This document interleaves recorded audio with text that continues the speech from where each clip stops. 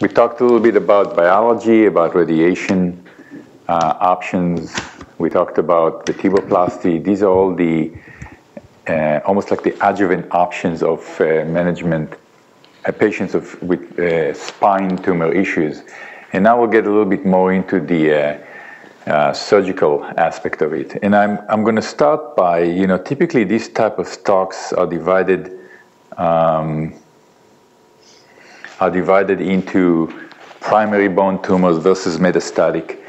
Uh, and, and these talks are, uh, are generally divided into those categories, and we'll get into it. But before we do that, I wanted to give you some basic principles about just you approach a patient with uh, a patient with spine cancer. And so this is a, more of a principle kind of thing. These are my um, disclosure, and I and, and I'm going to start just with this one slide to say that I'm going to start with the complication component aspect of it. And what I mean by that is that when you see patients with spine tumors, I think these are the three things that you have to think about it as surgeons. So this is really going to be more of a surgeon's uh, opinions and approach. One thing is bad timing operation.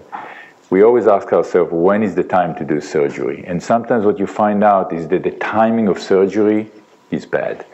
The second thing is that on patients, on, on patients with no diagnosis coming into the emergency room, there is no diagnosis, start doing operations on patients with no diagnosis who have cancer, in general, it's a bad idea, and I'm going to get into it. And then um, wrong pathology diagnosis, which I'm going to get into it. So be aware of the triple W syndrome, which is the wrong operation on the wrong patient by the wrong surgeon. And so part of these kind of courses is to get you instead of the three W's into the three R's, which is the right operation on the right patient by the right surgeon. All right? And I talked the, the three R's and the uh, know and the don't know principle. We know what we know about 10%. We, don't, we know what we don't know, which is about 15%. We don't know what we don't know, which is 75%, maybe even more. And how are we going to convert it from the three W's to the three R, where we are going to do the right operation on the right patient, on the right surgeon. Um, so, what are the concerns on this patient? So here, laundry list of problems and things you have to take into consideration before you even think about what to do. They are the elderly population most of the time. They are immunodeficit, right? They are they are on steroids a lot of times from the previous cancer. They already have issues with rapid weight loss. Um, they already may have received chemo and radiation and steroids. So there's a lot of things about healing before you even start thinking about surgery. How are you going to deal with the healing aspect of it? A lot of them are coagulopathic. They are on chemo. The platelet counts may be low. You got to take that into consideration. Wound complications, right? To close those wounds, infection, wound breakdown, very high in these patients. Establish a diagnosis right? Sometimes we find ourselves or we end up doing these surgeries on patients we don't have a diagnosis. We have an MRI, we have a CT, they're in the emergency room. We're like, yeah, it looks like a tumor, maybe not. Yes, no. So establishing a diagnosis, um, operating on the right patient, appropriate surgical plane, all of those things. And then you know, our radiology colleagues, you know, a lot of times we ask them to do a biopsies of a lot of these lesions to figure out what we, we operate on. But keep in mind that when we talk about patients with cancer, we have the primary bone tumors, which are a small component, but it's there. And if you are biopsying these, uh, these areas, you know, you start dealing with contaminated track, right? The needle itself, as it goes into that sarcoma or chordoma, that track is contaminated. So you have to take those things into consideration. And I've seen patients who are coming in and they've done an en bloc resection and the track is still there and it's contaminated, and that's where the recurrence is coming from. Um, this patient's unlikely to fuse, right? It's unlike the regular patient population with the trauma, the infection. We pack a lot of bone there. We hope that they're going to fuse. It's rare that you're going to get fusions on patients with uh, with cancer, and so you have the issue with the chemo and the radiation, which goes against your fusion. You talk about poor bone quality. Uh, so there's a lot of issues that you have to think about hardware failure. And then the last thing that concerns the timing of surgery. When is a good time to do surgery? So let's talk quickly about all these aspects. The patients are immunocompromised, right? They are they have decreased white cells counts. They have high risk of infection. They have high risk of bad infection, not just the typical staph infection. They have lack of fever response. They have lack of pleocytosis. Um, there's a lot of uh, growth in the vertebroplasty world, and the worst thing you can deal with is infected vertebroplasty. I mean, can you imagine drilling cement that's infected out of, some, of uh, patients who got a vertebroplasty. That's very difficult surgery to do. I mean, it's already hard to remove a vertebra. Now you're dealing with a vertebra with cement in, the, in it, and next thing you know, you're taking a very small problem, you're making it a very big problem. Nutrition uh, on these patients, again, we talk about significant weight loss, wound coverage, the serum albumin is very low. Uh, so you have to think about you know, the preoperative nutritional support. Is this patient actually, from a nutrition point of view, able to go through, you know, this type of surgeries? Uh, steroids, right? So steroids, you all know, it's uh, a lot of these patients are on steroids. Um, there's significant morbidity associated with patients who are on steroids, and the list is right there. So, got to take that into consideration. The coagulopathy aspect is important. You know, a lot of these patients are thrombocytopenic with a low platelet count. They're non-ambulatory sometimes. They have increase for DVT. You may want to think about prophylactic filter placements. All those things are critical. And then hypervascular tumors, you know, so part of this issue about biopsying and making a diagnosis is just don't forget. A lot of these tumors is not just about taking bone out. As soon as you get into it, it starts bleeding. And so some tumors bleed more, some tumors bleed less. If you think about a renal met, which tends to be very vascular, you may want to consider doing a preoperative embolization. Goes along with what I said, which is biopsy, knowing what it is you're dealing with is very critical. Here is a laundry list of patients with who are known to be very vascular tumors, the aneurysmal bone cyst, the giant cell tumors, the hemangiomas, anything that has the word heme in it assume that it's going to be something that's going to bleed on you. And, you know, as surgeons, there's nothing more frustrating when you want to do a great surgery and all you deal with is bleeding and bleeding and bleeding. You can't see and you can't see and you're just dealing with controlling the bleeding. So anything that you can do up front to minimize it, preoperative embolization, whatever it takes would be uh, very helpful. Uh, the renal cells, the livers, the hepatocellular, the thyroid, the pheochromocytomas, melanomas, Multiple myelomas. How many of you thought that multiple myeloma is not? It's a very bloody tumor. And the problem with the myelomas is that you can't embolize it, right? It's a bone tumor. You go into that bone and it's just going to keep bleeding and there's not much you can do about it. So likely unsuccessful. Um, and then when it gets to all these uh, preoperative embolization, you know, there's always this aspect of artery of Adamkiewicz, right? Where is it? What's his... Uh, what's the risks of uh, potentially spinal cord infarct and things like that. So that's another set of discussions. Um, you know what to do if you, they end up that they're embolizing a, a, lesion and the next level has the art of Adamkiewicz on that side, or the level that they want to embolize, the art of Adamkiewicz is right there. How do you handle all those things? Sometimes you get information that you don't want to know, right? Where they're going in to embolize a, you know, a vascular tumor for you, and they tell you, hey, by the way, here is the art of Adamkiewicz, and it changes your entire surgical plan, maybe. So, um, again, hypervascular tumors, all this embolization is an important concept. So here's an example of a renal met. You see how vascular these tumors are? Can you imagine getting into this bone and start taking it out? It's just nonstop bleeding, right? You want to see it looking like this after they embolize the tumor and that shadow is gone.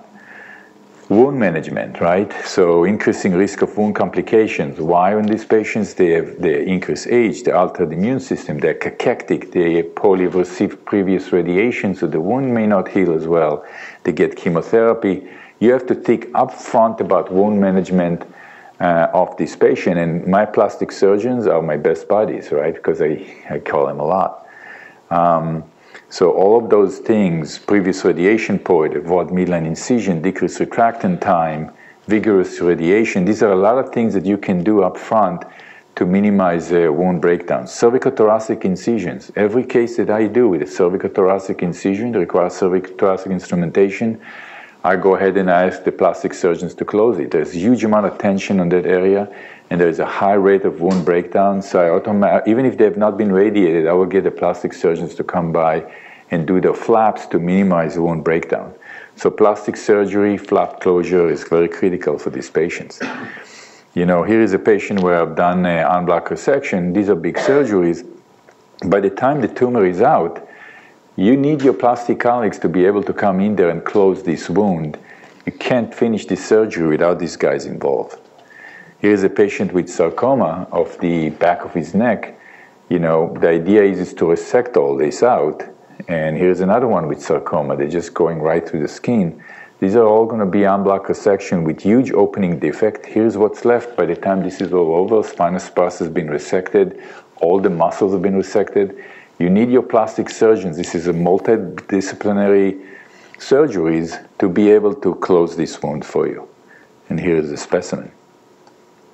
Again, another one of those cases where by the time you're done with the case, you need to be able to close these wounds. And there are multiple ways of how we go about doing it. This is a, a flap that's being taken from the front, and uh, this is a myocutaneous flap from the rectus muscle.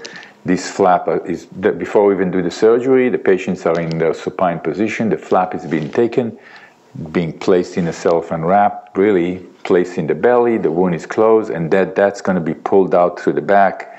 And you can see right here that that flap that was taken from the front, once the sacrectomy is being done, is getting pulled out through the back once there's a big opening there. And then that flap from the front is being used to close the flap from the back. Again, required a lot of planning.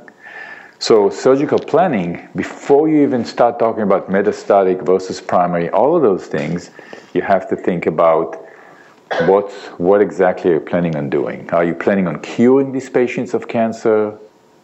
Are you planning on palliating this patient from this cancer because of pain or neurological deficits? What type of surgery are you going to do? Are you going to do an en bloc resection where you take everything out without entering the tumor, without spilling it to the surrounding? Or are you doing an intralesional resection where you are actually are you actually spreading the tumor around by resecting it? You have to think about biomechanical consideration. Where are you going to instrument? How are you going to instrument? How level above? How many level below? What's the wound status of this patient, right? When it comes to be able to close it at the end. And then, what is the medical status of this? Can a patient actually go through this surgery? And that's where you rely on your medical oncologist to help you with that. So, when we talk about these goals, when we talk about our planning, you have to talk about what type of tumor we're talking about. And so, for primary tumors, primary I mean bone tumor, right? The chordomas, the sarcomas, and we'll get into it in a minute really your goal, if you can, is to cure the patient of cancer. And the nice thing for us as surgeons is that when it comes to cancer, there's a not, not, a lot of opportunities out there for somebody to say, I'm going to do this surgery, you have cancer, and by the time this surgery is over, you're cured of cancer. So that's such a, an amazing tool that we have, an opportunity to actually offer patients uh, the chance to be cured of this cancer. And this is really for the primary bone tumors where the, their goal is cure or potentially long-term survival. That's unlike the patients with metastatic disease where we are talking about palliation, right? So whether it's pain, whether it's a neurological deficit, we are not there to cure the patient of the cancer. We are there to actually improve their quality of life. And I'll get into it in more details. You have to think about adjuvant therapy right? What we do as surgeons is useless if we don't know what's the adjuvant therapy options that are available. Unfortunately, for patients with primary bone tumor, very limited uh, options for patients with adjuvant therapy, right? The chemotherapy options, not that great. Radiation therapy options, not that great. And so, really, it boils down to, in a primary tumor, surgical intervention. The metastatic, there's tons of uh, adjuvant therapy that's available. And you have to look at it and say, is it something we should actually treat with adjuvant therapy instead of uh, surgery? The surgical technique for the two type of tumors is different. The primary bone tumors, if you can do an en bloc resection, do it. And we'll get into it in a second. The metastatic, really, it's mostly intralesional resection. So the biopsy, the diagnosis, right, the establishing the diagnosis is critical. And if you have to take one thing out of our talks here today, one thing, that would be it. And that is know what it is that you're operating on. And so the biopsy component of it, when it comes to our colleagues in radiology, interventional radiology is critical because we want to know what is the diagnosis. We want to know what it is that we, op- we, we are operating or not operating on. Because why? That will tell us everything. That will tell us what's the potential response to therapy. That will give us staging and on and on and on. So here's a patient who came to see me for a second opinion, was scheduled, came to see me on a Wednesday, scheduled for an en bloc resection at another institution for a sacrectomy and this was read as a sacral chordoma. The reason why a biopsy was not recommended on this particular patient was because the surgeon felt that the track will be contaminated. And because the track is going to be contaminated and this is going to be an en bloc section, that particular surgeon did not want to do a biopsy because he was worried that the track is going to be contaminated. And even though we're going ahead and do a sacrectomy, the track is going to be contaminated. And so the recommendation was to proceed with an en bloc section and take it out. Patient comes for a second opinion, and I said, do a biopsy. And we'll deal with the track. We'll figure out a way to where the biopsy is going to be made so that we can take the sacrum with the track in one piece. And so that's where what uh, Dr. Gerson was talking about, this collaboration with the people you're working with, I will not just send this patient to my radiology colleague and say, just go ahead and do the biopsy. I will actually tell them where and how I want them to do the biopsy so that if I were to do a sacrectomy, that biopsy track with the sacrum will come out together. That biopsy, you see the slide there on the right side. Anybody recognize what this slide is from your pathology days? This is an ependymoma. You see there was that cells.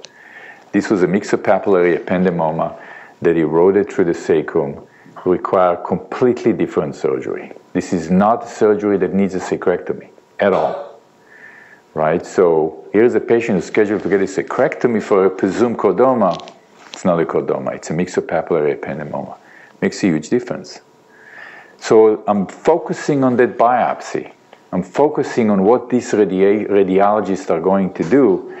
And when a radiologist, and call, tell me if I'm wrong, um, any input would be valuable.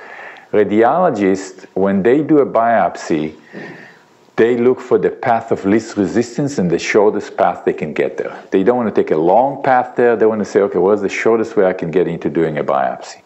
And the thing about it is that when you look at something like this, and you have two, a big mass in the neck, where do you think the radiologist, how they're going to biopsy that thing? You wouldn't be surprised to find out on the picture on the left that that radiologist may put the needle through the mouth, right? That mass is extending right behind the oropharynx. That's the shortest path to get into this mass. Or on the picture on the right, big mass in the sacrum, they may do a transrectal biopsy. They'll get you the diagnosis, but what is the problem with these tracks? You can't resect them. You can't take them out with your surgery. And so you can do a major big surgeries on all of these two masses, but the track itself left behind through a transoral approach, it's going to come back through the track. Or if it's transrectal approach, you're not going to take the rectum out, right, to do a sacrectomy, that track is going to be contaminated. So if you let the radiologist dictate how they're going to do a biopsy, you're going to be in trouble. And that's part of the reason why that other surgeon didn't want to let the radiologist do it because he didn't know how they're going to do the biopsy. You have to communicate with your radiologist to say, I want you to do it that way. And, what and here is an example. You can see right here, um, let's see how this thing works here. This, uh, anyway, you can see right here, um, here's the track. You see it right here? You can see it right there. We mark the track and then we lift everything around the track, so then we can remove the sacrum, right? We remove the sacrum with the track in one piece. And so when you actually guide them how to do their biopsy, make sure that you tell them that you make the track very close to the midline so that you can actually take it with a specimen. Otherwise, if they put it very lateral, you're not getting there with your surgery. That track stays. Or if it's transrectal, that track stays. So it's very important that you tell them stay in the midline CT guided core close to the midline, discuss it with the radiologist to make sure that you can actually plan your surgery around the biopsy track. Otherwise, all that big surgery that you do is for nothing. There is a 100% guarantee, not 90, 100% guarantee of recurrence. All right, if you muck around with these tumors or you spread it somewhere, it's just going to come back. Um, so why do we want a CT-guided biopsy? Because an open biopsy, you may do, you may risk contamination. There are sampling errors. So this is really the way to do it. So I'm spending all this time talking about the biopsy because diagnosis is critical, and the way to do it is even more critical. Timing of surgery. When to do surgery, right? So here is a 65-year-old gentleman coming to the emergency room with eight hours of bowel bladder incontinence. Radiology call you urgently severe sacral root compression with large tumor. And that is, that is, uh, that is your history here, and here is the MRI, right? So this patient shows up to the emergency room. I go back to the history here, lost control of his bowel bladder, and, and you see this huge mass, right? Now, if you are in a major academic centers, the radiologist may help you to say, here's my differential diagnosis. But you'll be surprised to see how many times you're there and you have to kind of make a call on it. And, you know, what are you going to do on Friday night at midnight when this guy shows up to the emergency room, lost control of the bowel bladder?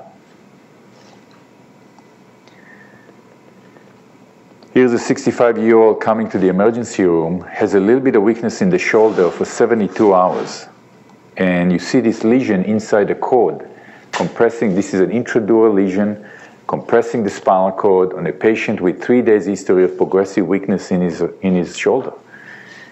You know, you have no diagnosis. You don't know what you're dealing with. Should you try to preserve function? Should you do a biopsy? Where are you going with this? We got a PET scan. The PET scan was highly active and I'm going to get into this case in a second. Here's a 23-year-old female coming with one month's history of back pain. On the day of presentation, she stood up, noticed an acute onset of back pain. Neurologically, just a little bit of weakness in her legs, about four out of five strengths. And here's the MRI. She's in the emergency room, acute onset of back pain, a little bit of weakness in the back, four out of five strands, the cord is severely squashed by something. It's wrapping around the spinal cord, and you get called, and you have to make a call. And you know what? It's up to you. And that's the crazy thing about a lot of these cases. You're the one who makes the call. There's not going to be anybody else who's going to make it for you. It's up to you as a surgeon who get called to see this patient to know how to take it from there. And it's a difficult thing. It's not simple. And what I mean by that is that when you have somebody who has a little bit of weakness, I'm not talking about the conventional just back pain, you can kind of wait, but a little bit of weakness, you know, where are you going with this? You know, how long can you wait? Here's a few more pictures. And you can see again severe cord compression on this patient and a lytic lesion looks suspicious for cancer. You don't even have a diagnosis of cancer. Right? This patient was taken to surgery, had a laminectomy done by the surgeon, and you can see the spinal cord has been decompressed, a laminectomy was done, and that's what the MRI looks like after the surgery. This was patient was taken from the emergency room emergently to the operating room to get a decompression. And guess what? The patient got better. The weakness, four out of five strengths in the leg, got better. The back pain, a little better. And that's what it looks like. You see, there's still a lot of stuff around the spinal cord, the spinal vertebral body, right? All this stuff here, that's all tumor. This is tumor, right? But some of the compression of the spinal cord got better, and that's why the patient neurologically recovered function. Take this same patient that I just showed you, came in with a little bit of weakness, and now make him, let's say that he came in and it's two out of a severe weakness in the legs. Two out of five, barely, not even anti-gravity. Where are you going with that? Are you going to do the same surgery? You're not going to do the same surgery? So you can see that there is a lot of decision making that has to be made by you when you go down there and evaluate this patient. Here's a 51 year old back pain, bilateral severe left leg pain, comes in with one week history of progressive foot weakness with intermittent bowel bladder function. So this is this is a guy who comes in with a lot of weakness, and there's the MRI. You can see the MRI shows a big sacral lesion. The canal is full of stuff. It's picking up the nerve roots in the canal. There is a reason why these patients have foot weakness. Clearly, there's something there severely pressing the nerve root, and is presenting with severe neurological deficit. Right? What are you going to do? You're going to take him to surgery to decompress it, to salvage, to try and preserve deterioration in the neurological status, get the function back. You know, you can see it right here. This patient was taken emergently to surgery because of this foot weakness and underwent intralesional debulking and lumbar pelvic fixation. And the biopsy came back as primary bone tumor chondrosarcoma. So this is a primary bone tumor that needed an en bloc resection. Ended up getting an intralesional resection, the tumor is spread. So this was followed by radiosurgery six weeks later. And guess what? This patient got better after the surgery because the canal has been opened, the nerve root has been decompressed, the foot function got better, his pain got better, the patient's doing great clinically. The patient is coming back three years later, and is coming in with this picture after the surgery. What is that? So he comes to see me actually and he says, Doc, one of my screws is poking up, it's coming out, it's getting loose. Right? And that's what he's pointing at. He's pointing to this hard thing that's kind of uh, pushing on, coming up right there. That's not a screw, right? That's not a screw coming out. And the MRI shows severe tumor recurrence in the canal. All the stuff that was there before, it's now back in there. And that lesion that you saw on the back is this thing right here, right? It's this thing ready to come out. That is not a screw. What is that? What is that? It's a, it's a recurrence, right? I mean, this is, this is what happened.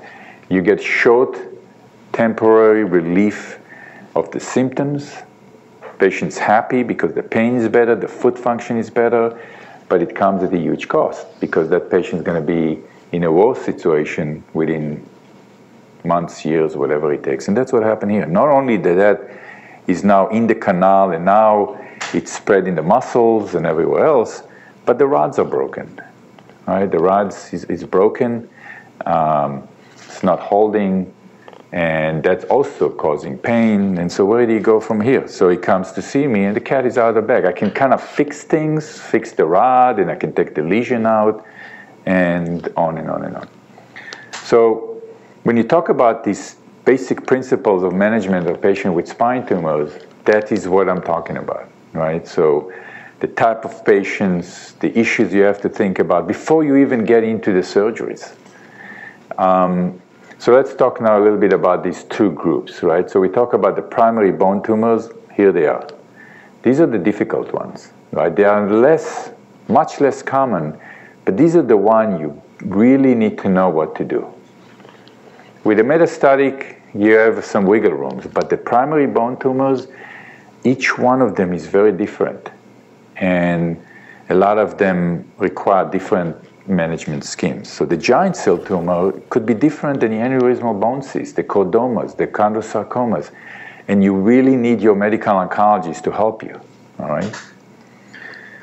Primary bone tumors, if they need surgery, this is what you have to think about. En bloc resection, you take a vertebra, you don't get into it, you don't spread it around, you take that vertebra, whatever you can do, figure out a way to detach it, spread it away from the spinal cord, and then get it out of there.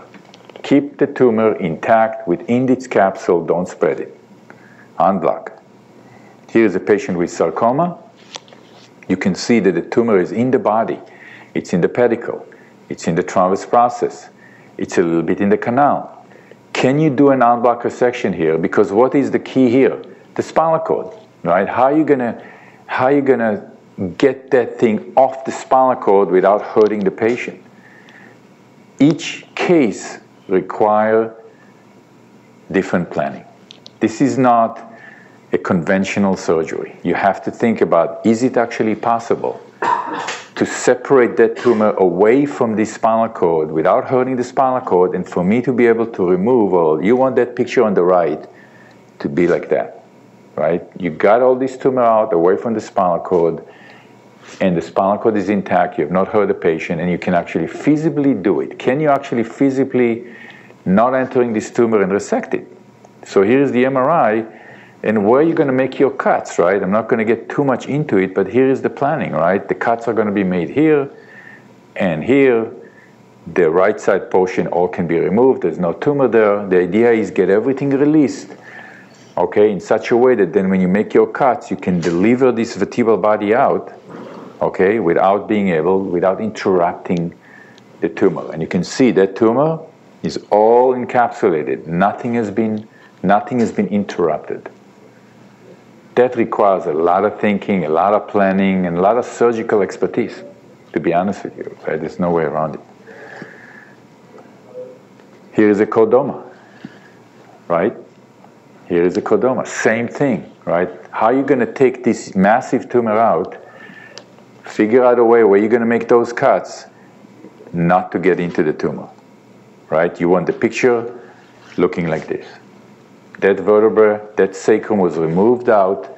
The entire tumor is sitting in the front there. And you can see that tumor is in the canal. This is canal, sacral canal, right? All of this tumor is extending into the sacral canal. It's not just in the front. The entire sacral canal is full of tumor. So how are you going to do this? You want to, you know, so a lot of time with these cases, we use navigation to make sure that we know where we are, where we're making our cuts. We don't want to make cuts that enter the tumor. We want to make sure that all of our cuts are done in such a way that we are around the tumor itself. And these some pictures here that uh, I'm just kind of showing. And then you have to think about fusion. Okay, so you went and you did this massive surgery to take this tumor out, and you're, you're doing it to try and cure the patient. Then now you have to think about fusion right? Because if you're going for curing these patients to live for the rest of their life, unlike the metastatic where if they don't fuse, the life expectancy is such that fusion may not be an issue. For this patient, fusion is an issue. It's a critical issue. You want to make sure that you maximize the chance of fusion so that you don't deal with broken rods, broken screws, and on and on and on. You got to think about it. This is one of the cases that I've done with a huge, you know, lumbopelvic chondrosarcoma, how are you going to fuse something like that when half the pelvis coming off and and you know how are you going to get there to be able to get that fusion? There are a lot of tricks.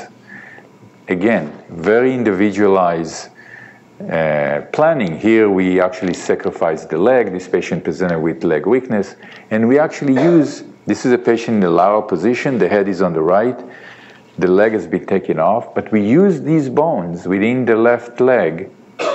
This is the femur, and this is the fibula, and you can see these are vascularized graft that we're going to bring over to close, to pack, to do whatever it takes to get the fusion to occur.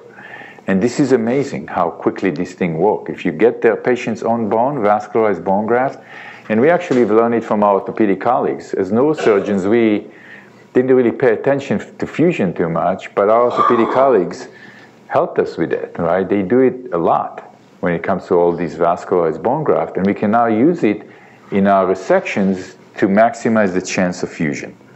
And I, we ended up publishing it, uh, you know, reconstruction of pelvic, lumbopelvic junction, utilizing two vascularized autologous bone grafts after en bloc resections. How we do it. And you can see right here in the picture on the left where we not only utilize the femur and the tibia vascularized bone, but in fact we'll use the skin flaps. The plastic guys will use the flaps from the leg to be able to close these massive openings. And we'll build models. And in our lab, we have a spine research institute at Ohio State. We can create these models where we can actually do these surgeries before we do the surgeries and then reconstruct them and then figure out what is the weakest point of these constructs to be able to predict where is it going to break, how high to go, how low to go. All those things are things that we're thinking about so that when you go with this marathon of a surgery, you maximize all the chances of uh, fixing this. And that's just some of those pictures. Vertebral artery issues, when you're dealing with these tumors in the neck, there's another issue when it comes to the vertebral artery. A lot of these tumors can wrap around the vertebral artery. How are you going to handle that? Here is a case of a chondrosarcoma. You can see there's some tumor involving some of the nerve roots. One vertebral artery is completely involved, so you can't separate that artery from the, that artery has to go with the tumor. You can see, here's the tumor, the artery goes right through it. You're going to have to take, if you want to do an en-bloc resection, that tumor with this vertebral artery comes with it. And what does that mean? Right? You can see the tumor right here with the three-dimensional reconstruction. First of all, when you look at it, can you do an en bloc? Can this patient go through with this surgery to the point that you can take the vertebral artery with it? And there's some pictures, um, intraoperative pictures over here, where we go about doing these type of surgeries. And you know, we'll coil the vertebral artery, we take into consideration, we do angiograms before the stages to make sure that the, the only vertebral artery that's left doesn't go into any spasm or anything like that. There's a lot of nuances that goes along with it. Because just remember, when you take one vertebral artery and you do these surgeries on a patient who has only one vertebral artery, that vertebral artery better stays patent, patent.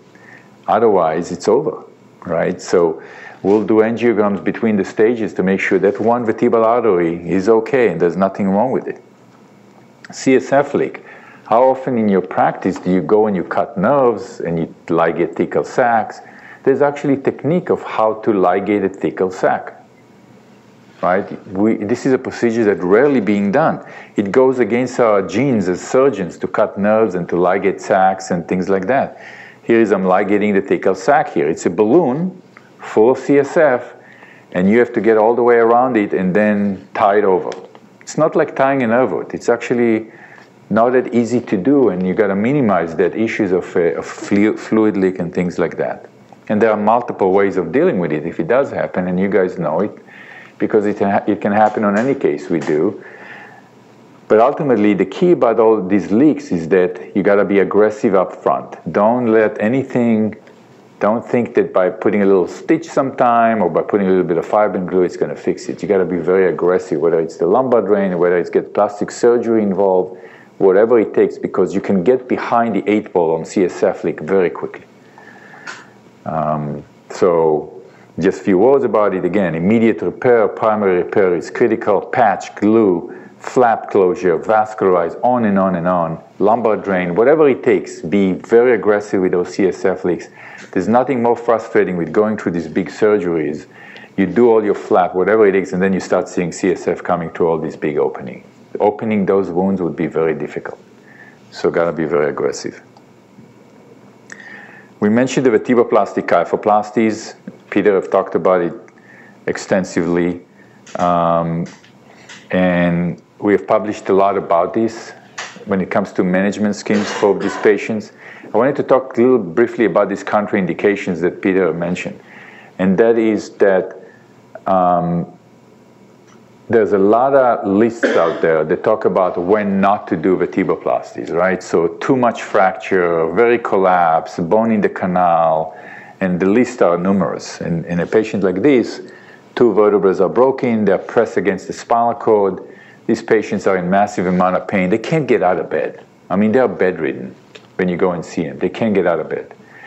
And when you look at something like this, that fits the contraindications, right? There's bone in the canal. What are we worried about? We worry about cement leaking into the canal. We worry about the cement ending up where these bone fragments are, right? So that's where a lot of these things saying you got height loss more than 70%, you got something like this where the back wall is missing, you see?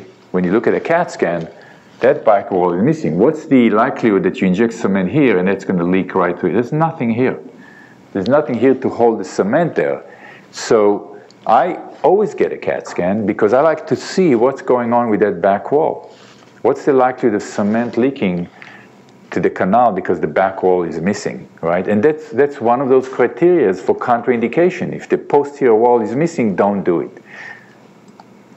right? So when should you do it? You don't want something like this, right? Here is cement in the canal. It does happen.